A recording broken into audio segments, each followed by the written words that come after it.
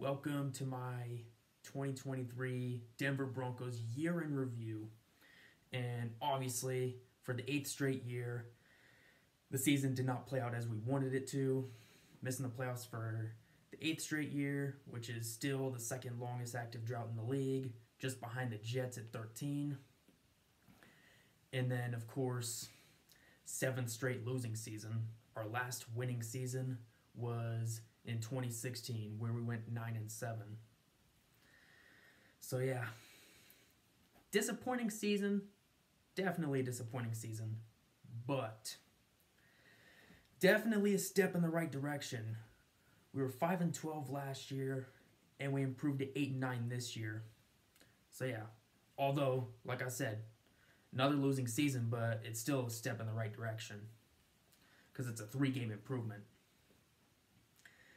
And then, of course, Russell Wilson, he played a lot better this year before we benched him for financial reasons. Honestly, this might actually be his last season as a Bronco. And I've pretty much prepared for that reality. As much as I hate to say it, I, I want us to keep Russ, but I've pretty much accepted the reality that this might be his last season for us, and that Sean Payton clearly does not get along with them at all. And it's clear that Jared Stidham, Jarrett Stidham is fucking ass, dude. So he's definitely not QB one next year. But yeah, of course. We started one and five. That included us getting blown out seventy to twenty to the Miami Dolphins. And there were so many winnable games that we lost and they came back to haunt us. And and as a result, we missed the playoffs. So obviously the first game against the Raiders, that was very winnable, but we got fucked by penalties. And our defense couldn't couldn't stop shit in the fourth quarter. And I was at that game. Then of course we blew a 21 to 3 lead to the Redskins of all teams. And then we lost to the fucking Jets in some embarrassing ass fashion. Like, they only scored one offensive touchdown against us. And the touchdown that sealed the game for them was a defensive touchdown. So, yeah, that was a very winnable game that we lost. And those three games that I mentioned definitely came back to bite us in the ass. But hey, it is whatever.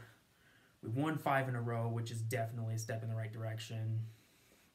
We finally beat the Chiefs after eight years. After 16 straight losses, we finally beat the Chiefs. So I'll definitely take that. That's basically our Super Bowl. That's basically our Super Bowl because of how long it took us to finally beat those fuckers. But of course, the Raiders' winning streak against us is still intact. They've won eight in a row against us now. And of course, Raiders fans, they treat that as their Super Bowl like they always do. But, anyways, we finished second in the division. Well, tied for second with the Raiders at 8 and 9. But, of course, since the Raiders have the tiebreaker, we finished third, actually. We finished third. But, yeah, definitely a step in the right direction. We didn't finish last this year, so yeah, after finishing last each of the last three years. So yeah, although it was a very disappointing season, it was definitely a step in the right direction. Of course, Courtland Sutton was our best receiver. He had like 772 yards, 10 touchdown catches. I think he had like somewhere in like the 50s or something course, Javonte Williams was the leading rusher with over 700 yards. Forgot how many to be specific.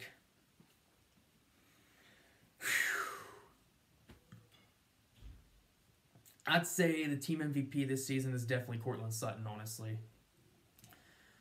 Because he was without a doubt the reason why the Broncos won five in a row in the first place because he just could not stop catching touchdown passes he he made some amazing ones at that. So yeah, he's definitely the season MVP. But anyways, it's your boy Snake B69 checking the fuck on out of here. Let's go Broncos. We'll see y'all next year. and we'll probably see another QB again. If we draft a QB, I want Michael Penix.